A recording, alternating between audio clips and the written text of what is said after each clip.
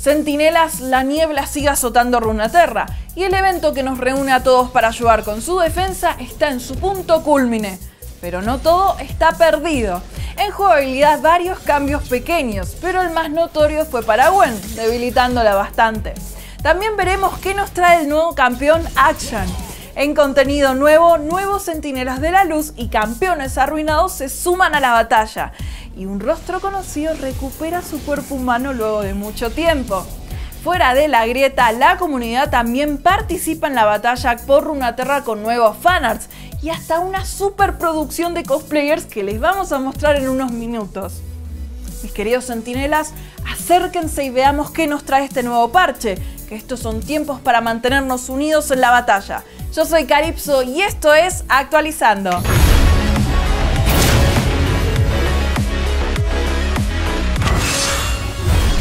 Es un campeón que depende de acertar su veneno para después taladrar a sus rivales con su E.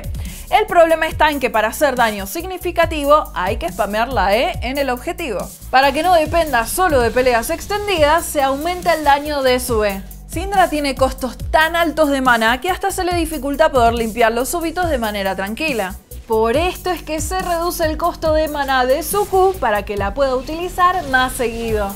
La principal herramienta de Kennen en etapa de líneas es su Q. Esta habilidad es la que le permite molestar constantemente al rival, pero como su daño está bajo, no puede aprovecharse de esto. Ahora su Q pega más y está la con mayor poder de habilidad. Al ser un campeón cuerpo a cuerpo, Mordekaiser no solo debe tener buen daño, sino que también buen aguante. Y honestamente necesito un poquito más de ayuda con esto último. Así que desde ahora su W tiene menor enfriamiento y le permite transformar en escudo o vida mayor porcentaje del daño mitigado. Caitlyn está bien lejos de sus épocas de gloria. El daño de sus habilidades está bajo por lo que no le permite hacer lo que Caitlyn debería hacer perfecto, dejarnos sin escapatoria. Ahora su Q escala con mayor daño de ataque. Uy, cuidado con esos intercambios en bot. Saya tiene todo el daño del mundo en sus habilidades, pero solamente tiene una habilidad para reposicionarse y esa es su definitiva. Para que la tenga disponible en mayor cantidad de peleas, se reduce el enfriamiento de esta habilidad. Shivana hace tiempo se armaba tanque, pero encontró su lugar en el meta con objetos de poder de habilidad. Lo único, todavía no está en el punto correcto para verla más seguido. Para que pueda tener mejor desempeño en la jungla, se reduce el enfriamiento de su a la vez que escala con mayor poder de habilidad. Si Blitzcrank pega su gancho, es el mejor soporte. Ahora, si lo falla, va a seguir otros 20 segundos aproximados dando vueltas hasta tenerlo nuevamente.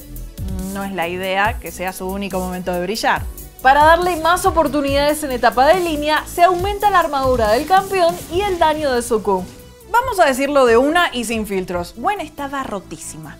La velocidad de ataque que obtiene de sus habilidades en conjunto con su daño la convirtió en uno de los campeones más pesados para tener enfrente.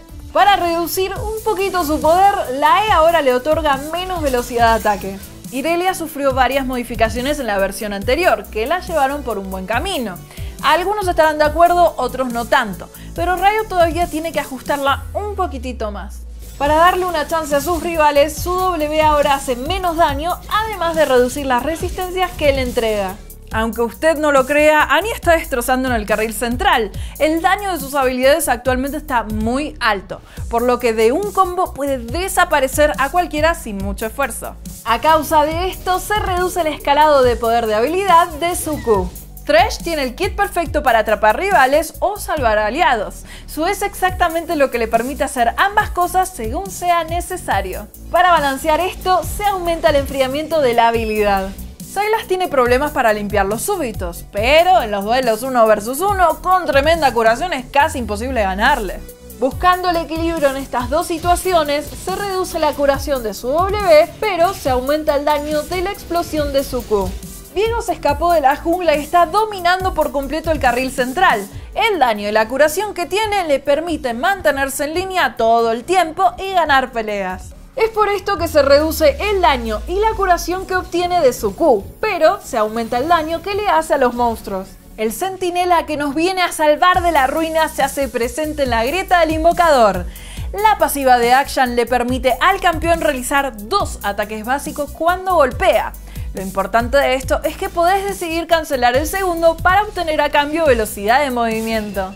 Es una decisión difícil, pero puede ser clave en algunas situaciones. ¿Se acuerdan de la Q? Bueno, Action tiene algo similar. Al lanzar su boomerang daña a los enemigos en línea a la vez que los revela y extiende su rango con cada enemigo que golpea.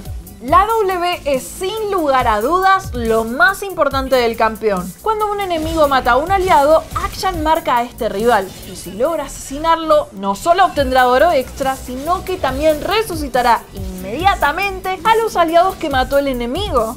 ¿Qué mejor que tener una muerte de 5 segundos en juego tardío? Por si fuera poco, Sue le permite anclarse a una pared y estar de un lado al otro en un abrir y cerrar de ojos. Al activarla no solo podrá movilizarse, sino que también dañará al primer enemigo en la dirección del salto. Tenemos un campeón que básicamente lo hace todo.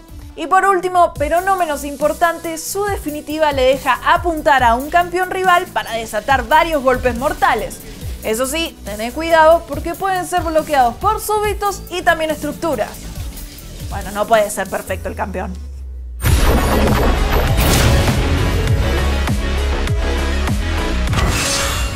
La batalla por Runaterra se recrudece y ambos bandos, el de los Centinelas de la Luz y el de la Ruina liderada por Diego, reciben nuevos aliados. El hecho de pertenecer a la Orden no cambió en absoluto la codicia de Graves, su falta de respeto a las leyes o su terquedad. Lo que sí hizo fue cambiar su apariencia, efectos, animaciones y líneas de diálogo. El antiguo Graves se tomó unas vacaciones de asesinar gente en aguas turbias para bueno, seguir asesinando, pero ahora criaturas de la niebla por un futuro en Runaterra. Su autoataque encandila a sus enemigos disparando proyectiles de luz. Su Q arroja una reliquia que deja las características marcas de su orden en el suelo al activarse y la granada de humo ahora explota en una niebla de luz que mantiene a raya los esbirros de la oscuridad pero es su definitiva la que llama la atención por haber cambiado de ser explosiva a purificadora. Lo más incómodo de tener un espíritu destripador como Pike de Sentinela de la Luz no es verlo pelear por la salvación de Runaterra, sino saber que de un momento a otro podría arruinarse, ser poseído por la niebla negra y clavarle un puñal por la espalda a sus compañeros. En este aspecto, Pike se viste con el blanco y negro de los centinelas, y sus características sombreras hechas de hueso de pez ahora se asemejan a enormes reliquias que le sirven de armadura. La forma fantasmal de Pike adquiere los efectos de la neblina dorada, y al asesinar a un enemigo con su definitiva, la moneda que aparece sobre su cabeza está decorada con el emblema de Isolde. Mi fortuna arruinada es lo que sucede cuando las ganas de alcanzar tus metas se vuelven tan pero tan fuertes que perdés de vista lo esencial y pensás que solo el poder solucionará tus problemas. En su camino por la depredación de la luz, Miss Fortune adopta el verde espectral de la niebla negra en su uniforme y cumple su deseo de ser la pirata más temida y respetada de todas. Sus pistolas ahora se asemejan a tiburones que disparan espectros y en su regreso a base la vemos montarse a un tiburón y sumergirse en un mar de tinieblas. No hay nada más que atraiga a Rengar que una presa difícil de atrapar, Intrigado por su nuevo objetivo, nuestro cazador pone en marcha la captura de Diego. Rengar cambió el acero de sus cuchillas por piedras reliquias que utiliza para canalizar sus poderes e iluminar su Q para hacer explotar su W. En su vuelta a base, Rengar combate contra las criaturas de la niebla negra y solo por unos breves instantes recibe la corrupción en su cuerpo, pero manteniendo su propósito firme y su fuerza de voluntad intacta, logra arrancar la esquirla de su corazón, aplastarla con sus garras y lanzar un grito triunfal antes de teletransportarse de regreso.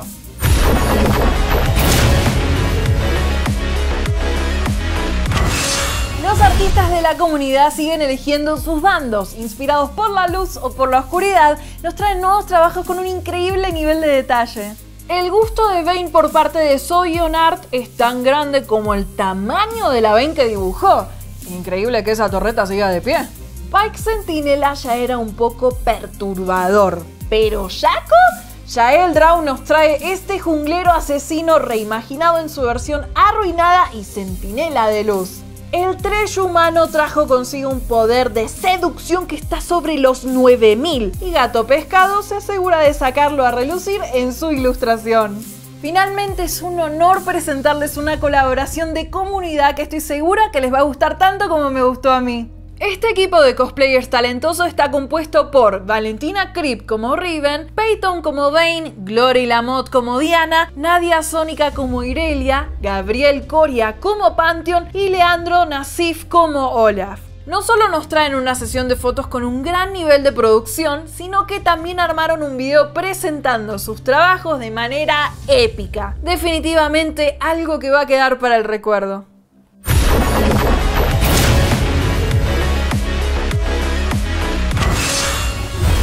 Sabes qué hacer un sábado o domingo en tu casa, siempre es buena alternativa jugar LOLcito. O, mejor que eso, mirar la LLA mientras jugas LOLcito y ganas el doble de drops. ¿Quién no se inspira viendo esas partidas? Soñando ser pro player de R7 o Infinity y que estás arriba en la tabla hasta que ves que tu jungla enemigo deja los dientes en la pared y volvés a la realidad. Aunque ojito, estos equipos también se estrellan contra la pared, incluso desde lo más alto de la tabla. KLG, uno de los equipos con pocas victorias, derrotó a Rainbow Seven, quien lideraba. Extend también desde las últimas posiciones venció a Infinity como si nada. Como si esas dos sorpresas fueran poco, estamos viendo en la LLA una nueva ola de talentos latinoamericanos que la están rompiendo.